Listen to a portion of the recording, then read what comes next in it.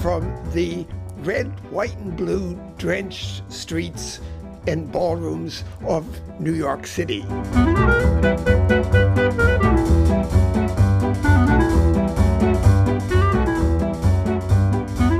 Here we have a composite of red, white, and blue looks from spring and early summer, from ball gowns with great flowing trains in red and blue and white, to people on Battery Park waiting to board ferry boats in their summer whites.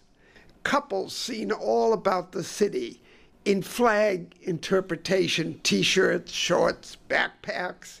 And to get the real meaning of 4th of July, the group of more than 50 disabled veterans having lunch at the Battery Garden restaurant.